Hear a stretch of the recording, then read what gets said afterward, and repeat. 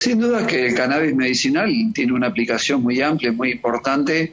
y que creo que, por supuesto, eh, regulada o auditada por el Estado para que pues, no se desvirtúe eh, la producción de, de, otras drogas que, que no son este, farmacéuticas. Eh, así que entiendo que, que creo que está bueno para debatirlo y que creo que controlado este, producir el aceite de cannabis este, con los beneficios que genera para la salud, que están comprobados, me parece importante, ¿no? E incluso supongo que quizá hasta uno